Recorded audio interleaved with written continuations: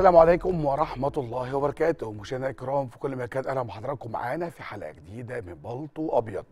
حلقة النهاردة يعني حلقة مهمة جدا وبتهم شريحة وقطاع كبير من السادة المشاهدين. أرجوكم اهتموا بالحلقة دي واسمعوا بقلوبكم وبقولكم إن شاء الله هناخد قرار بالشفاء من أمراض كتير جدا كانت مزعجة طوال الفترة اللي فاتت قبل ما تشوفوا الحلقة دي. بعد ما تشوفوا الحلقة دي هيبقى فيه قرار تاني هتاخدوه في حياتكم إن شاء الله. يعوض اللي فات بالأجمل في اللي جاي بإذن الله.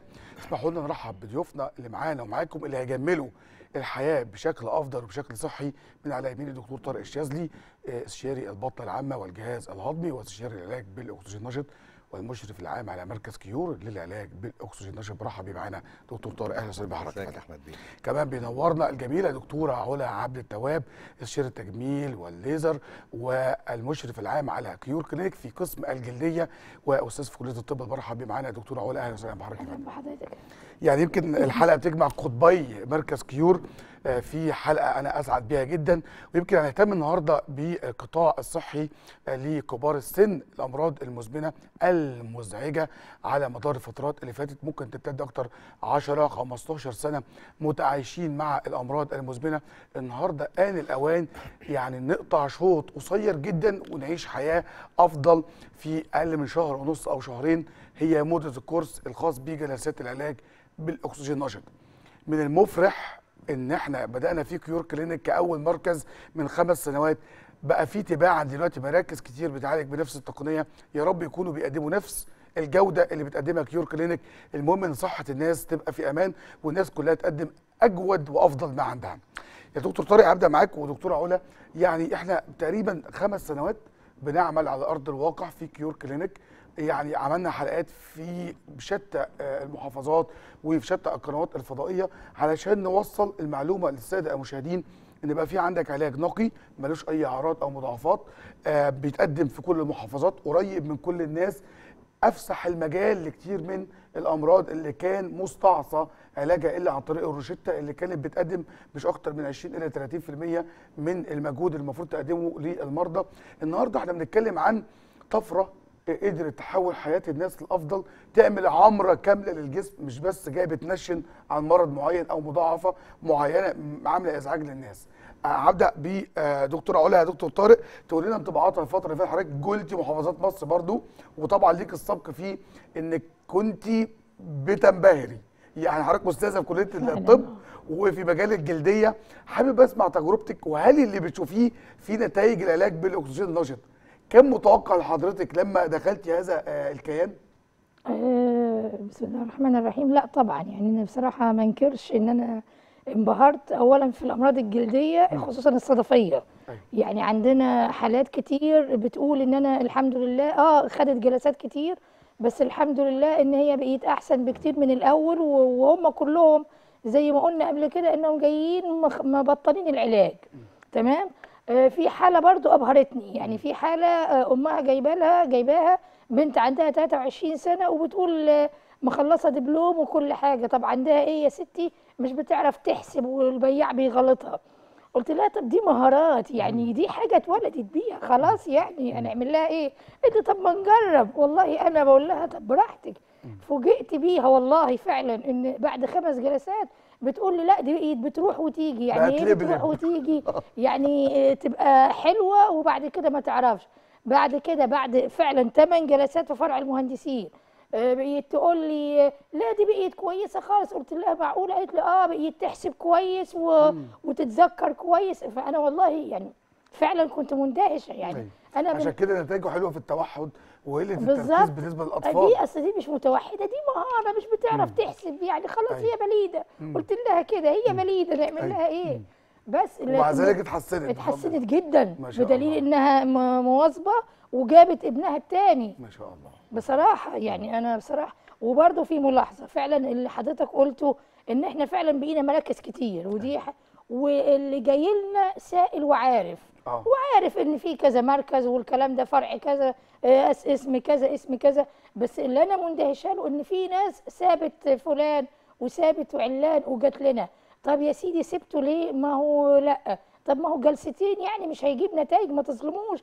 قال لي ما ارتحتش نفسيا. أيوة. آه، النظافة ال- التعامل الدكاترة تعامل ال- النيرسز تعامل الفنيين. ما ارتحتش نفسيا. فبصراحة دي كانت ملاحظة آه، جميلة وعجبتني وكانت شهادة حق في مراكزنا بصراحة ربنا يكرمك يا دكتورة فيش و- مركز هيكون فيه تخصصات باختلافها أيوة. بالظبط يعني كده هتلاقي جلدية هتلاقي جراحة معانا الدكتور عادل وموجودين الدكتور مجدي يعني أيوة. تخصصات لا يا دكتور طارق يعني برضو إحنا لسه قبل ما نطلع نشوف مع بعض نفرح بهوا التقرير في حلقة النهارده.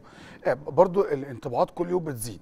ويمكن إحنا آه، الدكتوره علا يعني بكمل كلامها ان حضراتكم في اي كيور مش بس مش شغالين محلي شغالين دولي. لما تبعتوا تجيبوا خبير عالمي اللي هو أبو المجال عالج ملكة آه، ماليزيا. وفي فنانين ما ينفعش نقول أسمائهم هو احتفظ بيهم لاسمه بس هم عالميين.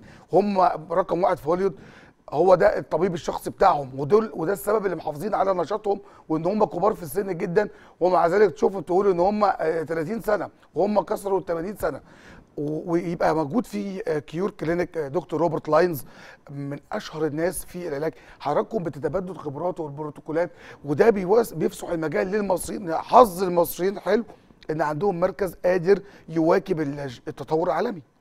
هو دكتور روبرت صراحة انبهر بما يرضي الله والله بالتخصصات الموجودة الدكاترة الاستشاريين الدكاترة الصغيرين وأعتقد إن في هنا فيديو في لقاء مع الدكاترة الصغيرين بيناقشوه وهو في بداية كلامه ان إحنا نفس ال school نفس المدرسة ونفس ال- البروتوكول. آه، هو انبهر كمان لما اطلع على النتائج لقى إن إحنا محققين نتائج لأن بص يا أستاذ أحمد أنت مستحيل هتوصل لنتيجة مرضية إلا لو خدت بالأسباب. صحيح. دكاترة استشاريين بيشخصوا صح؟ دكاترة آه، اللي هم المتابعين بي- بيتابعوا ال- البروتوكول تمريض بينفذ. الثلاث حلقات دول هم من أخطر الحاجات اللي يوصلك لنتيجة مرضية. فالدكتور روبرت آه، وأعتقد إن في الفيديو بتاعه شغال. آه آه، بيتكلم بيقول لك إحنا نفس المدرسة نفس السكول آه ما بنختلفش. العلم ملوش دولة معينة العلم لا حاجة هو, عالمية. هو أنا كان ليا سعيد الشرف ان أنا قدمت الندوة الخاصة بيه دكتور روبرت ويمكن اللي اللي لاحظته الدكتوره في كلامه إن هو ما كانش متوقع إن يكون مصر فيها التقدم الخاص بحته العلاج بالأكسجين النشط. يعني هو حكى هنا في في برنامجنا في النهار ان بنته جالها cancer في البنكرياس وكان مساحته أو حجمه 10 سم تقريبا وكل الدكاترة في العالم لف بيها العالم كله لغاية ما جاله اكتئاب وكان كان بيحكي معاناة رهيبة وقدر يركز معاها بس بالاكسجين نشط لغاية ما بقى negative. يعني خلاص بعد سنة تقريبا الحمد لله لله خفت تماما. ودي بالنسبة له كانت هي العظمة. فلما جه مصر وشاف كمية الأطباء اللي قابلوه في كيور كلينيك ما شاء الله شاف شاف شباب واعد يعني منطلق عاوز يقدم لبلده حاجة كويسة في نقطة العلاج بالأكسجين النشط. هو قصه بنته دي نازلة إن شاء الله على صفحة كيور كلينيك لأن أنا بعتبرها ملخص للعلاج بالاكسجينات أنت بتتكلم على وحش كاسر وحش سرطان ورم بيغطي 10 سم من حجم يعني مغطيه كله. ولما الدكاترة كله قالوا له خلاص خدها وعيش بقيه بقية الشهور اللي فاضلة معنى إن هو يبتدي علاجه بالأكسجين لأن هو فلسفة العلم في الموضوع العلاج بالأكسجين اللي هو ال hypoxia نقص الأكسجين في الخلية. اللي بيتعامل مع المرض مش تخصصه آه، آه، سرطان تخصصه لا هو بيتعامل مع درجة ال hypoxia درجة نقص الأكسجين وعشان كده دكتور بس يعني أنا عايز نقف بس يا رب السادة المشاهدين يركزوا معايا في ال 30 ثانية اللي جايين دول. هو لما بنيجي نتكلم يا دكتورة في شريحة الأمراض اللي بيعالجها الاكسجين النشط بنتكلم في أمراض مناعية. مقسومة نصين أمراض مناعيه باطنية روماتويد وذئبه حمراء و MS وهكذا وخاصة بالجلدية الصدفية والبهاء والإكزيما وهكذا. نروح للقولون بيزود حركة الأمعاء فبيخلي كل أمراض القولون بتروح. بيروح للسكر فبينشط البنكرياس بيخليه يفرز إنسولين أكتر فالسكر يتظبط في جسم الإنسان كل الشكشكة والحرق والتنميل بيروحوا. بيزود الذاكرة بينشط الذاكرة بيحسن النظر بيفتح الشرايين في الجسم آه، كله. لفظ هو الخلية back to home احسنت يعني, يعني هو ما, بي ما؟ بيقولش ما بيقولش أنا بعالج أمراض هو بيقول لك الخلية اللي في جسمك هي جعانة جعانة. آه. أكسجين ودم. أنا من خلال الجلسات دي بفتح لها الطريق بوصلها لكل خلية في الجسم الأكسجين والدم. وبالتالي أنا خليت جسمك كله ينتعش من أول وجديد. وده اللي بيفسر لو حد جاي يتعالج من السكر وعنده مشاكل في المناعة بيخف. لو حد عنده مشاكل في المناعة وعنده مشاكل في القولون بيخف. يعني. كل الحاجات بتخف. إذا هو ما بينشنش على حاجة معينة. لأنه بيعمل scanning هو بيلعب أحسنت. على الخلية على مستوى الجسم كله. آه. كلمة back to home يعني بيرجع الخلية لأصلها. لأن الخلية نتيجة ال pollution نتيجة ال stress نتيجة بعض الهجوم المناعي الخلية بيبتدي إنها تجهد تماما. مم. هو بيرجع الخلية لقوتها لشحنها الأصلي. بالظبط طيب، كده. أنا إحنا عندنا أعتقد في عندنا في المراكز بتاعتنا في حالة MF MF ده نوع من أنواع سرطان الجلد ويعني نتيجة لزيادة الخلايا الليمفاوية. آه، أنا بصراحة متابعاها. يعني ما شاء الله الراجل آه، محقق نتائج كويسة بس بإذن الله هنصور معاه آه، أول ما يخلص الكورس أنا بإذن عاوز الله. بس أروح لأول تقرير في حلقه النهارده. وبعد التقرير ده إحنا عاوزين نقف بس مع الناس واقفة إنه ال- البري اللي هو قبل. يعني أنا مثلا دكتورة عندي موروث بالسكر والضغط. حد بيشوف ده عنده موروث عائلي بأمراض القلب. الناس عندها موروث بالأمراض المناعية.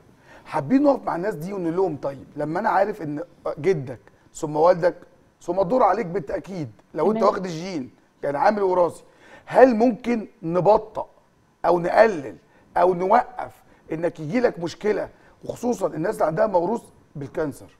يعني ده بنشوفها آه. هل نقدر دلوقتي نصلح الخلل اللي حصل في خلايا الجسم ونرجعها back to home مرة تانية زي ما حضراتكم تفضلتم يبقى حامينا الناس وبعدين ده أمن قومي لما أنا أحافظ على مريض السكر إن هو يوصل ليه آه، فشل كلوي لا قدر الله نتيجة اللي هيحصل له نتيجة السكر أنا حميت مكنة بتاعة غسيل كلوي قللت العدد اديت فرصة للدولة إنها ما يبقاش عندها التكدس فاهم قصدي يا دكتوره؟ أيوة هو. cycle واسعة بيتدخل الاكسجين نشط في علاجها وبالتالي نحافظ على أمن بلدنا الصحي.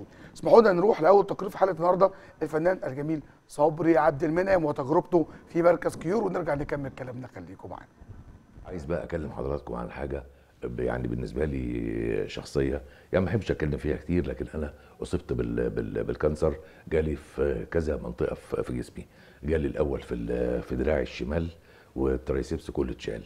وبعدين جالي بعد كده في الرئة اليمين وات- واتشال أجزاء كتير قوي منها. وبعدين جالي في البلورة ويعني قدرنا عن طريق العلاج الكيماوي والإشعاعي إن إحنا يعني نسيطر عليه ونوقف النمو بتاعه. الفترة دي خدت مني خمس سنين. آه، الكيماء العلاج الكيماوي والعلاج الإشعاعي سابوا فيا آثار رهيبة جدا جدا جدا. لما ابتدينا نشتغل على الأكسجين النشط ابتدت حاجات كتيرة قوي في الخلايا تصحح وخصوصا خلايا الرئة. ابتدى يحصل لها نوع من أنواع الكوريكشن الجديد فكأن اتخلقت لي رئة جديدة. آه، الألام بتاعت دراعي ابتدت تخف. الألام بتاعت مشكله البلورة ابتدت تخف آه، شوية يعني بعد ثلاث أربع جلسات. وديني مداوم على الحكاية دي وإن شاء الله هيبقى فيها نتائج كويسة. وبنصح كل الناس اللي كون اللي هم راح يعني تعرضوا للعلاج الكيماوي والعلاج الاشعاعي ان هم يلجأوا للأكسجين النشط لأنه فعلا هيعمل شيء جديد معاهم. هيعمل إعادة خلق لكل اللي اتدمر من العلاج الكيماوي. وللتذكرة. ال- العيادة دي مش بس هنا في المكان اللي أنا فيه في ال- في المهندسين لا ده في 22 مركز في كافة المحافظات. يعني إن شاء الله الفايدة هتعم على ناس كتير في حتت كتير قوي ونتمنى إن إحنا نشوف فيها ناس كتير بيتعالجوا وبيخرجوا من دايرة الأدوية وبيخشوا للعلاج ال- الغير مكلف واللي بيجيب نتائج سريعة جدا بإذن الله. ربنا معانا ومعاكم ويشفي كل مريض إن شاء الله. كنت قاعد مع الدكتور أشرف زكي في مكتبه وبعدين آه، دخل راجل وقور كده محترم. فالدكتور أشرف قال لي ش- شاركنا يا أستاذ مراد في. فسمعته بيتكلم عن مشروع جميل قوي اللي هو الأكسجين النشط. إيه الأكسجين النشط؟ ما عرفتش. فاتكلمنا فقال إن هو بينشط الجسم وبيدي حالة من الحيوية العالية جدا. كنت أنا بعاني شوية في الوقت ده عشان الجلطة اللي كانت جات لي الفترة آه، من يعني إن أنا همدان شوية. فالحقيقة أنا جيت بدأوا يدوني آه، آه، أكسجين نشط. الحقيقة أنا على مدى أسبوعين بس حسيت بحيوية شديدة جدا جدا. وعلاج سحري يعني آه، بدأت أنا أنصح الناس بيه. فبدأ آه، صديقي مثلا المخرج الكبير حامد سعيد يقول لي عايز أروح آه، فأنا الحقيقة نفسي الدكتور أشرف زكي يعني يدعو فنانينا لإن هم يتعاملوا مع هذا العلاج. لأن يعني أنا في الأول ما كنتش مصدق. في أسبوعين في أسبوعين صدقت. هذا العلاج مهم جدا لأنه آه، يعمل نوع من الحيوية في الجسم كله.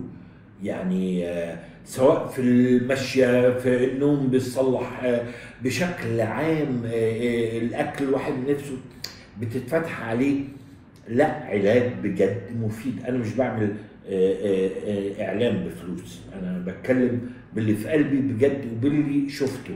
فشكرا للجميع. ويا رب الناس تعرف قيمة هذا العلاج وتقبل عليه فأرجو إن إحنا يعني الدكتور أشرف زكي يعني يدعو الناس إنها تستفيد بهذا ال option يعني آه، لأنه شيء جميل جميل جميل جميل وأشكركم. كل الشكر والتقدير وألف سلامة لصحة الفنان الجميل صبري عبد المنعم ربنا يديله الصحة والعافية. والفنان والمخرج الكبير مراد منير. يمكن الاثنين كان لهم تجربة في مركز كيور. الحمد لله إن المركز بيض وشنا وخلاهم مبسوطين وكانت التجربة ناجحة ويعني review محترم من الاثنين والحمد لله إن هو ساعدهم صحيا في التحسن زي ما حضراتكم سمعتوا في التقارير. دكتور طارق آه، دكتور علي هروح معاكم بقى لمحطه من المحطات الهامة وهي الأمراض الجلدية المناعية. يمكن الأمراض دي مزعجة وممكن توقف حياة ناس. يعني لو حد عنده بهاق هتلاقي ال patches البيضة دي آه، وبعض الفنانين يمكن كان عنده مص- مصاب وحتى حتى بهذا وكان بيسلم على السايس السايس خاف لا يعديه وده أذى نفسي رهيب النقطة الثانية لو بنت بتتفرج عليها دلوقتي وعندها إكزيما هي هيبقى جسمها جلدها كله مقشر هت- هتخاف تسلم على خطيبها. فهتفضل طول عمرها مستخبية ورا جوانتي الأمراض الجلدية يمكن الأمراض العادية ممكن مستخبيه جوه الجسم محدش بيعرفها. لكن الحاجات الخاصة بالجلد هي مراية. إحنا بنخاف نطلع بيها بره. الواحد لو عنده فسفوسة ويبص في المراية بيسيب وشه كله ويقعد يبص على ما بالك بقى لو حاجة منتشرة في الجلد. وكمان على مرأة من آه، المجتمع. فبيبقى في عزلة العزلة دي كمان بتدخل الإنسان في اكتئاب والاكتئاب ده بيأثر نفسيا يعني بيخش في دايرة مش لطيفة. بالظبط كده زي ما حضرتك قلت إحنا زي ما قالوا لنا زمان ودرسونا إن الجلد ده مراية لأن بصراحة كل حاجة بتبان عليه. أيوة. يمكن سكر ضغط ده جوه ما حدش شايفه. فأنا ما انكرش إن بصراحة من أحسن الحالات اللي بتتحسن معانا هي حالات الصدفية والإكزيما. آه، يمكن بتبقى مساحات واسعة آه، بي- في هرش في قشره كتير. آه، كل دوت آه، يعني بس هو ما ننكرش إن هو لأنها مرض مناعي فإن هو بياخد وقت. يعني بيجي للعيان طب من الجلسة الرابعة من الجلسة السادسه أقول له لا ما أقدرش أحكم. لكن بإذن الله خلال الكورس معانا بتجيب نتيجة. آه، آه، يمكن البهاق هو لو مساحات كبيرة آه، هو اللي بنواجه فيه مشكلة. لكن على الأقل أنا بدل ما بدي كورتيزون عشان أوقف النشاط ميزة الأكسجين النشط إن هو معظم الحالات اللي عندي وقف نشاط البهاق دي حاجة ما ننكرهاش. آه، لأن هو إيه بديل لتوقيف نشاط ال- البهاق معروف إن أنا بدي course كورتيزون مهما عظم ال course ما بقدرش أدي أكتر من ثلاث شهور وست شهور أسحب. يبص يلاقي فيه نشاط تاني أدي ثلاث شهور وست شهور أسحب. آه، هو بالنسبة للأكسجين النشط معظم الحالات اللي حتى ما خفتش من البهاق لأنها كانت مساحات كبيرة. أيوه. ودي حاجة ما بنكرهاش هي اتخفت كمان. آه, آه. آه. آه إن هو بيتميز بوقوف النشاط. آه الحالات ودي ميزة حضرتك شايفاها آه. انه هي بتحط على الكورتيزون ك course بالظبط كده. لأن الك- الكورتيزون له هيبقى له مضاعفات بالظبط تانية. لأن أنا بظبط جهاز المناعة آه. فأنا مش بظبط جهاز مناعة الجلد بس أنا المناعة جهاز كله. كل الجسم. فشوية إنفلونزا ممكن يعني يبقوا مزعجين. جدا للمرضى غير كده أنا بديك أكسجين نشط غير إن هو بيوقف نشاط البهاق لا ده كمان بينشط الخلايا التانية بتاع الجسم زي كله ما تفضلت آه ال- كمان أنا عندي إن إحنا زي ما قلنا هو مش كلام كتب إن الأكسجين النشط antifungal يعني مضاد للفطريات. أنا عندي أكتر من حالتين وكانوا كانوا حالة واحدة. دلوقتي لا كتروا. آه إن جايين لي بقى بتينيا. آه التينيا ديت اللي هي بقى بقى لها سنتين وثلاثه وخدنا كل حاجة. آخر حاجة الفيفند اللي هو الفوريكونازول اللي هو آخر حاجة اللي هو العلبة منه ب 3000 جنيه. وخدوه وبرده بيحسن شوية ونرجع تاني بعد شهر. لا يعني بصراحة بعد ما خدوا ال course معانا وسجلوا معانا في مدام مسجلة معانا. آه، بصراحة لا بتقول الاكسجين النشط لا وقف التيني خالص. بقى لها شهور ما بتاخدش مضادات الفطريات لأن هو كده كده الجسم خلاص دي عندنا في امراض في الأمراض الجلدية ومؤتمرات الجلدية بقيت مشكلة دلوقتي الريزيستنس بتاعت التينيا. إن أنا خلاص في مقاومة لكل مضادات الفطريات. آه. فدي بتحير ده لا. خلاص. ده كل مؤتمر دلوقتي فيه تحير. قد إيه؟ فلا بصراحة وأنا إن شاء الله ناوية المؤتمر الجاي من المؤتمرات الجلدية هنطلع بالأكسجين النشط. بإذن الله. أنا معايا تقرير. بقى بيجسد حضرتك قلتيه دلوقتي بحالات مختلفة تماما ويمكن آه، يعني الحمد لله إن معانا دكتورة علا في حلقاتنا علشان تتكلم عن الجلدية والمشاكل النفسية اللي بيعيشها مريض خاص بالجلدية. مهما كانت المشكلة صغيرة هي بالنسبة له حجم كبير جدا مؤثر على حياته جدا مؤثر على اندماجه مجتمعيا في التعامل مع الناس. تعالوا نشوف معجزات حرفيا عملها الأكسجين النشط بدون آثار جانبية ومحافظ على كفاءة الجهاز المناعي. بنفس قوته ما صبطوش ما ضربتوش قلت له ما تهاجمش. لا تعالوا نسمع مع بعض إزاي الأكسجين النشط بيتدخل في علاج الأمراض المناعية الجلدية. نرجع نكمل كلامنا. خليكم معانا. السلام عليكم ورحمة الله. معاكم أخوتكم نشوى آه من السودان. أنا أم نداء موسى. آه هي بنتي مريضة بصدفية بقالها ثلاث سنين من عمرها سنتين. آه نحن هنا في القاهرة من 2021 من 2019 بسم الله. من 2019 فمشينا كذا مراكز يعني ما خلتش دكتور والله العظيم ما خلتش وصفة آه بلدية. وما فيش نتيجة. بس عندي صاحبتي شافت الفيديو على التلفزيون وسجلت لي اسم بنتي وقالت لي روحي المستشفى في المهندسين آه، العلاج بالأكسجين النشط. فجبتها والحمد لله النتائج ما شاء الله ما شاء الله مبهرة والحمد لله. يعني بقالنا دي الجلسة الخامسة. لكن بجد يعني ما شاء الله والحمد لله. يعني بنتي كانت آه، بطنها صعبة حالتها صعبة. إيديها برضو نفس الشيء. إيديها دي كانت والله العظيم والله العظيم سلاسة. إيديها دي كانت بتشر دم يعني الحمد لله ورحمة من رب العالمين بقالنا الجلسة الخامسة أهو. ايديها الحمد لله. 14 سنة وكنت بشتكي من الصدفية. فلفيت على دكاترة كتير وجيت هنا في مركز كيور اللي في زقازيق أه، صراحة اتحسنت في الجلسة ال 15 بدأ حاجات تروح جدا من جسمها. و... ودلوقتي الحمد لله بفضل ربنا سبحانه وتعالى وبفضل المركز يعني الحمد لله. بدأت لون جسمها يتحسن خالص وبدأت حاجات منه تروح جدا. إن شاء الله إحنا مكملين مع المركز بإذن الله. وأتمنى يعني لو أي حد عنده صدفية يجي المركز هنا لأن هو ما شاء الله يعني آه، بيحسن الجهاز المناعي وبيحسن وظائف كتيرة في الجسم. أنا اسمي جمال عبد الناصر علي بقالي 20 سنة بعاني مرض الصدفية. لفيت على دكاترة دكاترة كتير جدا وما كانش في أي نتيجة خالص والحمد لله يا رب وصلت لتحسن جميل جدا ويا رب أفضل على كده. وأنصح كل الناس يجي يتعالجوا اللي بيعاني من مرض الصدفية يجي يتعالج بالأكسجين النشط عشان هو ده أحسن علاج الصراحة أنا شفته لحد دلوقتي. آه، أنا اسمي عبد العزيز مصطفى المهدي من محافظة المنوفية بركة السبع. آه، والحقيقة والدتي هي اللي شافت ال- الأوزون على التلفزيون. هي اللي قالت لي إن أنا أجي آه، أجرب آه، إن أنا آخد الجلسات دي. وجيت وكشفت وخدت الجلسات أنا كان عندي بهاء وقلت للدكتور وخدت أكتر من جلسة من الجلسة الرابعة بالظبط ابتدى في تحسن في الوش وفي البطن ابتدى يتحسن وفي حاجات تانية صغيرة في بقية جسمي بتتحسن برضو ولسه مكملين يعني إن شاء الله. الرحمن الرحيم.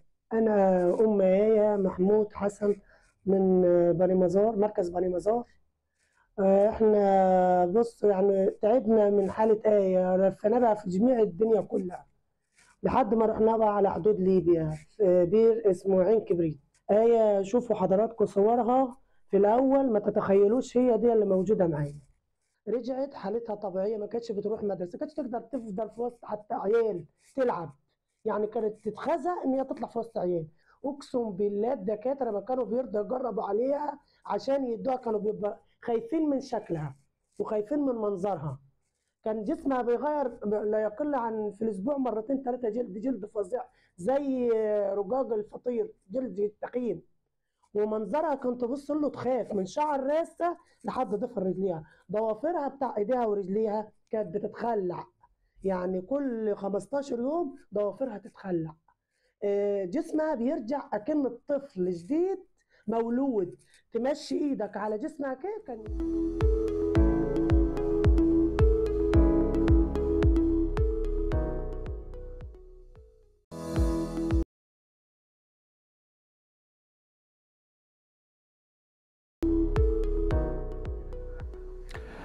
أهلا بحضراتكم مرة ثانية بعد الفاصل بنكمل كلامنا في برنامجنا بلطو أبيض ويمكن حلقة في غاية الأهمية لانها بتناقش أو واقفه عند محطة الأمراض المناعية المزعجة.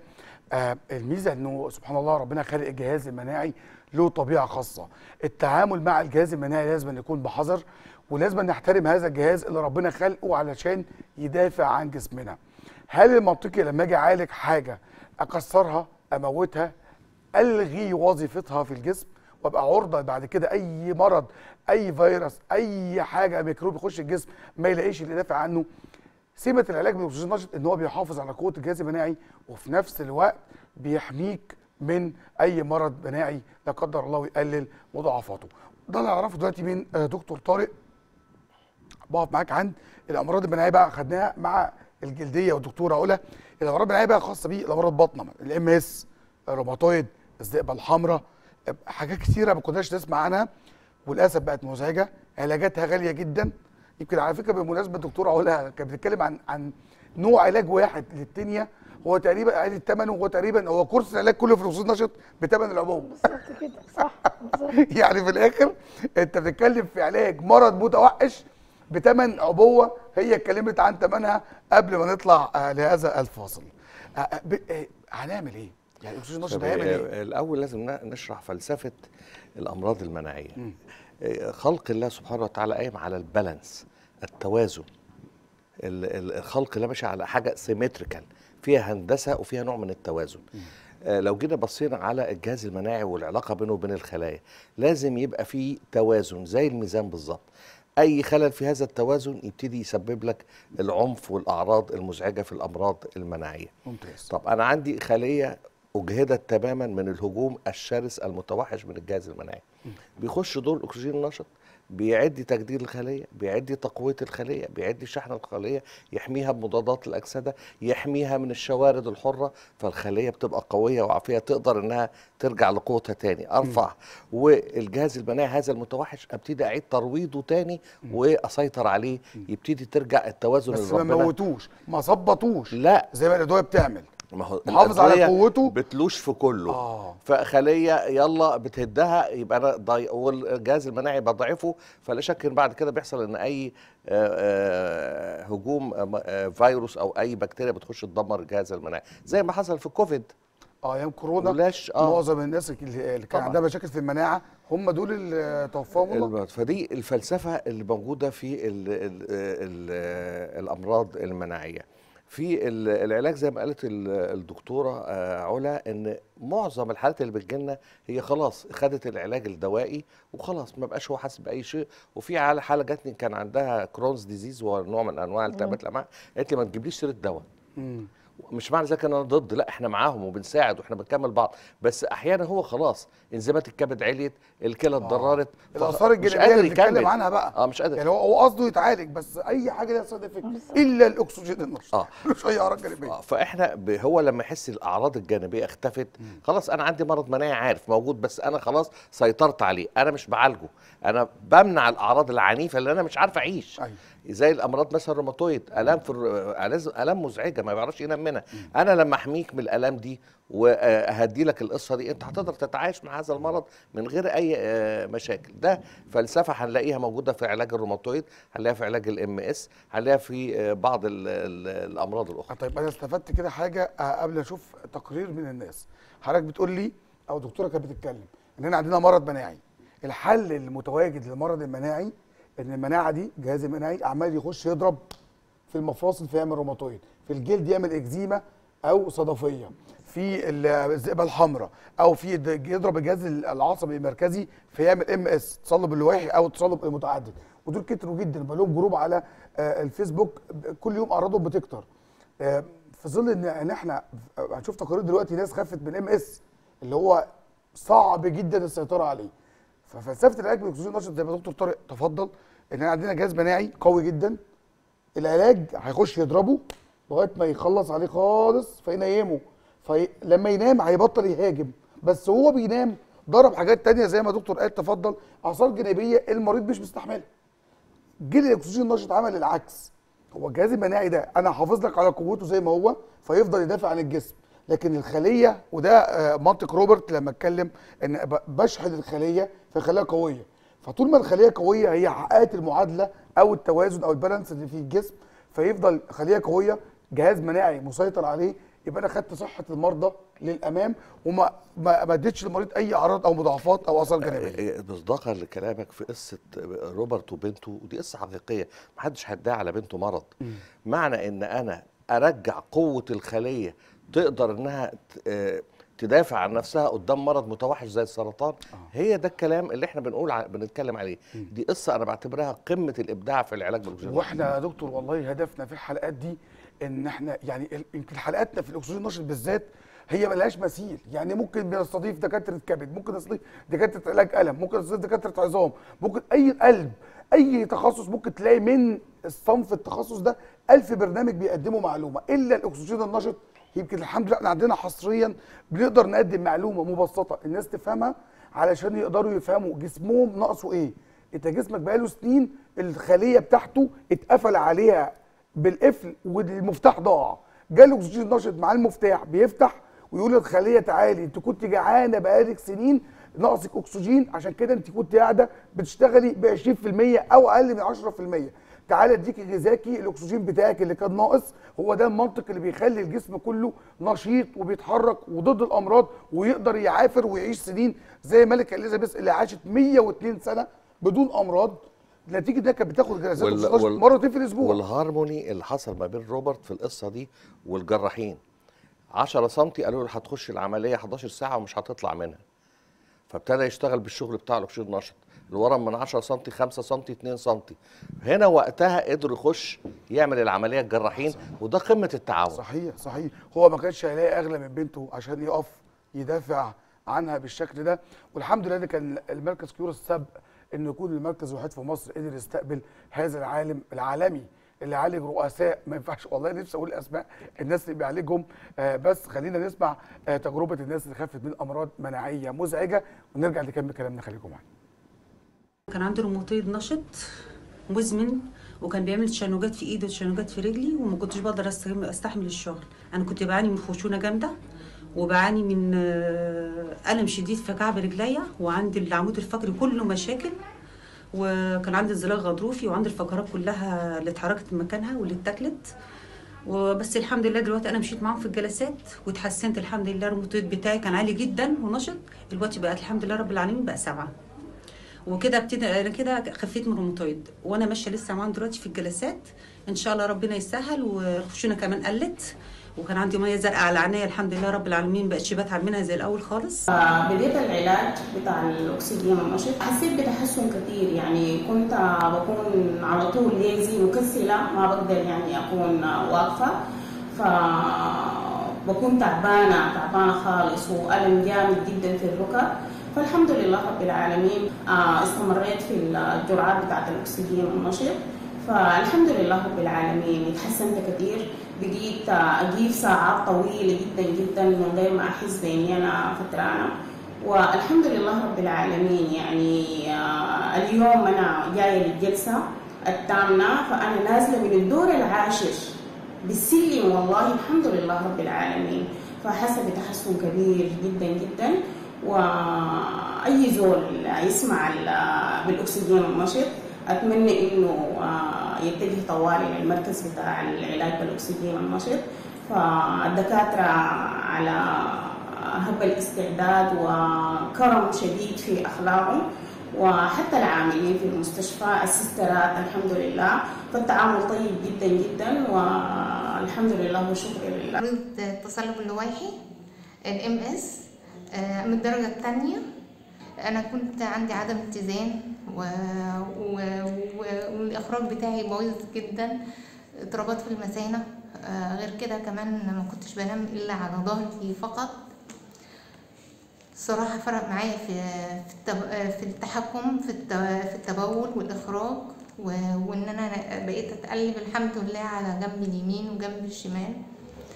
والحمد لله على كل حاجة أنا كان عندي ام اس وعندي العصب السابع بس الحمد لله خدت الجلسات والحمد لله آه، وصلت نسبة الشفاء عندي خمسة وتسعين في المية. العصب السابع آه، الحمد لله شفيت منه تماما.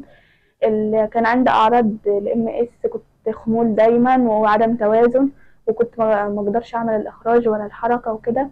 بس الحمد لله ده كله راح وبس آه، يعني إن شاء الله مكملة في الجلسات دي. تمن جلسة وإن شاء الله من الجلسة 18 هكون خفت رجع لكم مرة تانية. فخور جدا اني بقدم حلقات بتتكلم عن علاج قوي اسمه الأكسجين النشط جايب العالم. أكتر من 25 دولة أوروبية بتعالج بيه.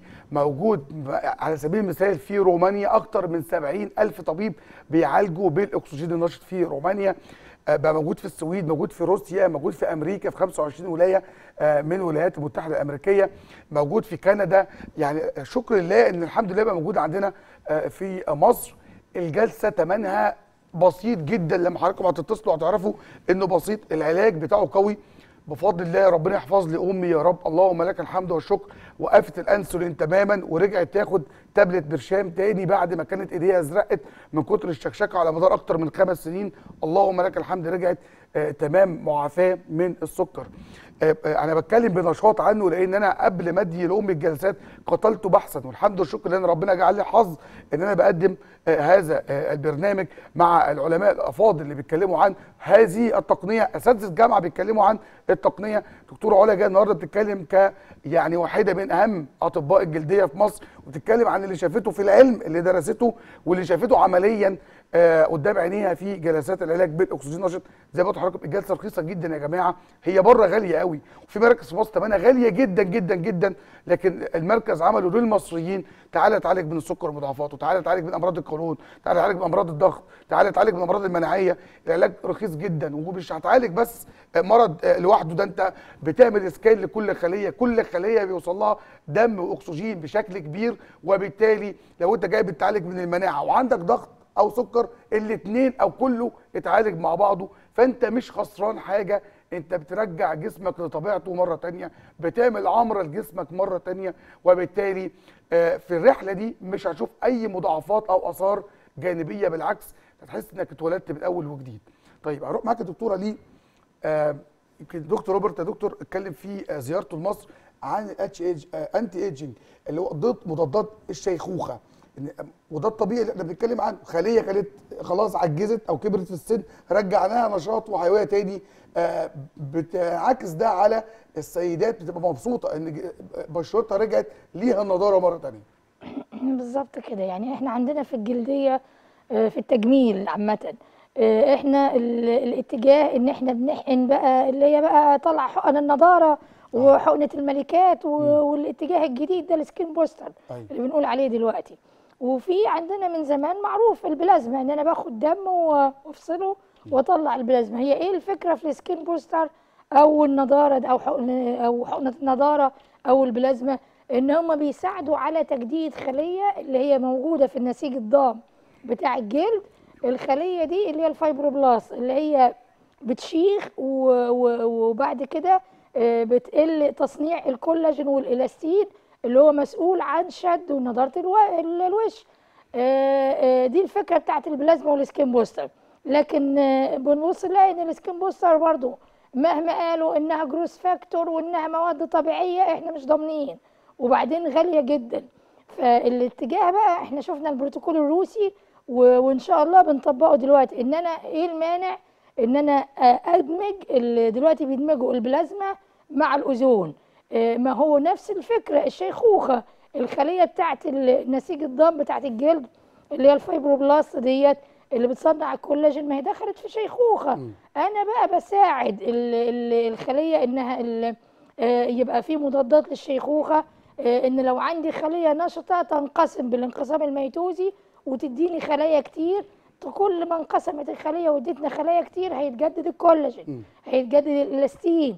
يبقى بالتالي هنشد الوش وندي نضارة هنحقق نفس اللي بتعمله الحاجات الكيميائية أيوة. تمام فده الاتجاه دلوقتي إن أنا هخلط البلازما مع الأوزون أيوة. وهنبتدي نحقنه تحت الجلد وحوالين العين وهنقلل ال- التجاعيد آه، اللي هي بتبقى موجودة آه، في الوش وهنساعد على تجديد النضارة في الوش إن شاء يعني الله. ده من أي حد بيتفرج عليها دلوقتي ما يقلقش على نفسه من قصة إنه يبقى حاسة إنها بقى عندها شوية تجاعيد.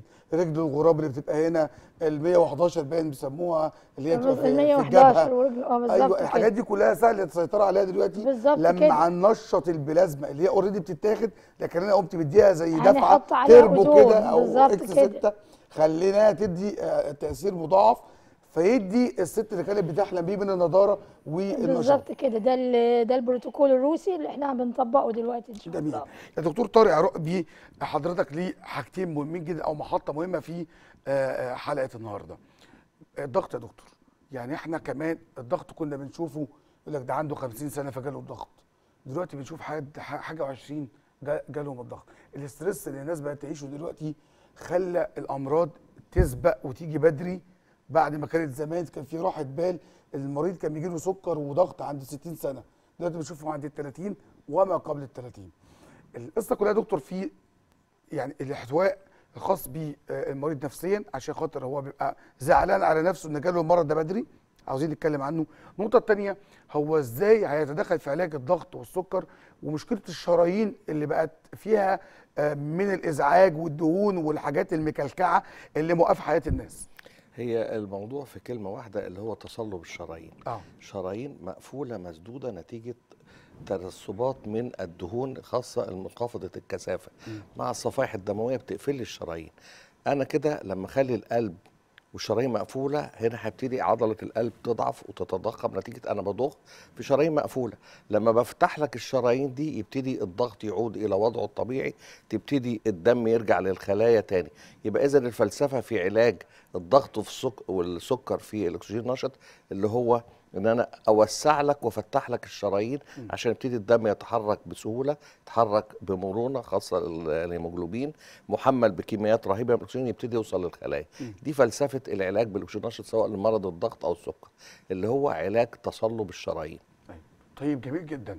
طب اذا أي حد بيشوفنا دلوقتي يا دكتور عنده مشاكل خاصة بالقلب نقدر نقول له إنه الشريان اللي كان خمسة بوصة مثلا لو أنا لو نتصور مع السادة المشاهدين هو ابتدى يتكون جواه دهون بعامل وجود السكر اللي كونت الدهون جوه. فبعد ما كانت مساحته كبيرة كده ابتدى يضيق يضيق يضيق.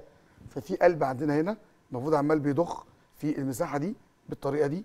اما كان كبير ابتدى الشريان يضيق فبقى القلب عمال بيضغط نفسه بيبذل مجهود. بيبذل مجهود. فهنا بيحصل حاجة اسمها تضخم عضلة القلب. عضله القلب. ليه؟ لأن هي دلوقتي بقت عندها نظام كده بتشيل حديد. جوه اورده القلب نفسه اللي بتبتدي تحصل جلطات. أحسن. يبقى أنا فتحت السكة قدام عضلة القلب. حميت القلب أصلا من الأمراض الخاصة بيه. وسعت الشرايين فحميت مريض الضغط. لأن الضغط معناه إن كان شريان قد كده بقى قد كده. فكمية الدم اللي بتدفع بقت أقل. فده بذل مجهود على عضلة القلب. هو سبحان الله ربنا خالق الإنسان. وفي أنفسكم أفلا تبصرون. اللي عاوز يشوف إعجاز ربنا يبص في نفسه. شوف الأجهزة ربنا خالقها بتشتغل إزاي وبالتالي أنا عرفت الجسم عاوز إيه أنا هقدر أقدم له اللي محتاجه وبالتالي هيبقى في آه، آه، كيمياء بيني وبين الجسم. هو في أبحاث كمان وجدت الناس اللي بتعيش في المناطق اللي هي فوق على أعلى مستوى سطح البحر عندهم نسبة الجلطات ونسبة ال- الأمراض القلب قليلة جدا. وفي two papers نازلة واحدة من ال American Medical Journal واحدة من British Medical Journal بتحث على العلاج بالأكسجين النشط في جلطات المخ وجلطات القلب. لأن فعلا ال- الأكسجين بيطلع مواد بتوسع وتدوب. ال prostacyclin بتوسع وتدوب ال- الضيق في الشرايين دي. إحنا معانا كمان تقرير لتجربة بقى خاصة بالشرايين والقلب والضغط. تعالوا نسمع التجربة دي. وكل مريض ضغط دلوقتي بيشوفنا أرجوك ما تقلقش. الموضوع أسهل مما تتخيل. شرايينك جايبها لنا مليانة دهون هننضفها ونلمعها ونرجعها لك في أمريكا مرة تانية بعد ما تشوف هذا التقرير. بعاني من شلل نصفي وعنده مريض سكر ومريض ضغط وضعف في البصر. سمعت الأكسجين النشط في التلفزيون الدكتور نادر فجيت بدأت أتعالج هنا من أول جلسة التنميل اللي في- كان عندي تنميل في دي رجلي. التنميل اللي في ايده راح من أول جلسة والتنميل اللي في رجلي كان مرتفع لحد أصابة الرجل. بدأ ينزل تدريجي الحمد لله حسيت بحسن رهيب جدا جدا جدا. والنظر تحسن بدرجة ممتازة جدا جدا. وكل حاجة في جسمي اتحسنت الحمد لله رب العالمين. أنا مهندس على المعاش من دسوق وجاني فتاء فكان لازم أعمل الفتاء دوت عرق يعني عملية جراحية. أنا عندي فوبيا من العمليات الجراحية والمستشفيات والكلام ده كله يعني. لكن تشجعت وقلت أروح مفيش فايدة يعني. فسمعت عن موضوع الأكسجين ده وابتديت أدخل على النت وأشوفه وبتاع حاجات زي كده وأنا غير مقتنع تماما بهذا المشوار فلما اتصلت عليهم فقالوا لي هنتصل على الفريق الطبي ونكلمك. اتصلوا عليا وقالوا لا دي عملية جراحية. ابتديت أحس إن الناس دي عندها مصداقية.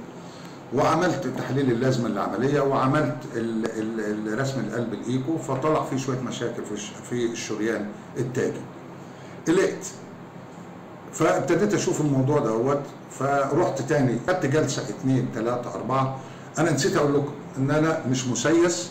ولا اتقال لي تعالى عشان نعمل شهرة ولا نعمل سمعة للناس ديت اطلاقا ابدا. أنا بقول ربما غيري يستفيد من التجربة دي بس ليس. إلا الحمد لله أنا قادر إن أنا أدفع الجلسات والأمور ماشية الحمد لله. أخدت جلسة الثانية الثالثه الرابعة قلت أجرب وأقيس الضغط. هم طبعا بيقيسوه في المركز فأنا فوجئت إن الضغط نزل من 170 على 110 إلى 130 على 75 والكلام ده طبعا. أنا راجل برضو المفروض إن المعدل الطبيعي للضغط بتاعي 140 على 90 ده اللي بقيسه من سنين يعني. رحت للدكتور القلب في تسوق وقاس الضغط كشف عليا فلقاه برضو حوالي 110 على 70 حاجة زي كده يعني. فقال لي ما شاء الله العلاج كويس جدا. قلت له طيب أنت بقى حضرتك خلصت العلاج؟ أنا عايز أقول لك على موضوع أنا ماشي فيه فمش عارف أنت هتقول زي كل الناس ما بتقول يعني إن ده علاج بديل وملوش أي لازمة. قال لي خير. قلت له أنا باخد جلسات أكسجين. قال لي مين قال لك إن هو ملوش لازمة؟ ده لما بيجينا جلط واحد عنده جلطه في المخ بنديله جلسه اكسجين شفنا مع بعض يعني جلطات وتحسنت ويمكن مريض الجلطة بالمناسبة ممكن يقعد يعمل جلسات علاج طبيعي سنة عشان بس يحرك إيده كده. عارف انت تخيل كده بس. ما بالك لما آه، بيجي ياخد جلسات الأكسجين نشط ممكن يعمل إيده كده بعد رابع جلسة. دي بشرى لكل مريض جلطة بيشوفنا دلوقتي. ما تخافش. اطمن على نفسك وهتقدر تقوم تاني ونصيحة مني. لكل حد بيشوفني.